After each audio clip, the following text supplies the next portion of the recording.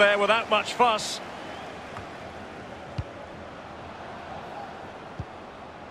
James. And now they have the ball back. Oh, a perfectly timed pass.